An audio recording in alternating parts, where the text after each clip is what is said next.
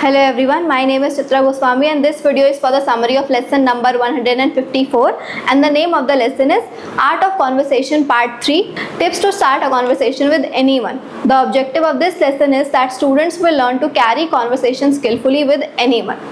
For starting the lesson, you are going to conduct the Hum Saath Saath Hai attendance update as done in previous lessons. For the first step, you are going to ask the students to recap some of the points learned in the previous Art of Conversation lesson. Second step, you are going to ask the class to watch the video on the student laptop and after everyone watches the video, students first discuss their understanding from the video with their partner, then in small groups. You will move around and listen to what students are discussing and you will ask the volunteers from each group to summarize the discussion. The third step is practice time and presenting within groups.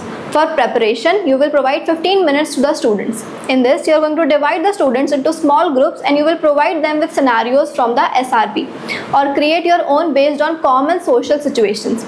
You will encourage students to brainstorm and plan their conversations within their groups and you will emphasize the following elements. The first is finding common ground. You will encourage students to identify shared interests or experiences with the person they are conversing with. Second is small talk. You will remind the students to engage in light and casual conversation to establish rapport. The third is commenting on context. You will prompt the students to make observations or ask questions related to the environment or situation they are in. Next is giving honest compliments and in this you will encourage students to offer genuine praise or appreciation to the other person. Next is recalling details about the person and you will remind the students to actively listen and remember relevant information about the person they are talking to. Next is presentation within groups and for this the timing is 5 minutes per pair per group. Now each group practices presenting conversations and you will encourage students to role play their scenarios using the strategies discussed during preparation. The next is feedback and the timing for feedback is 5 minutes per group. After each presentation, you are going to facilitate feedback sessions where group members provide feedback to one another to improve their conversation.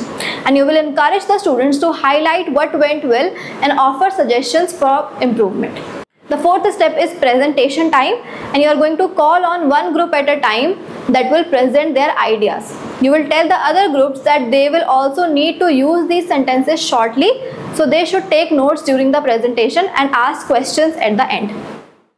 The fifth step for the fifth step, you are going to ask the students to evaluate how confident they felt at taking part in a spontaneous conversation at the start of the lesson compared to now.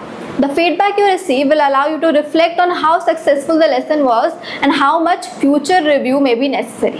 You will tell the students that only one lesson in the Art of Conversation series is remaining and the learnings will be concluded in the next part.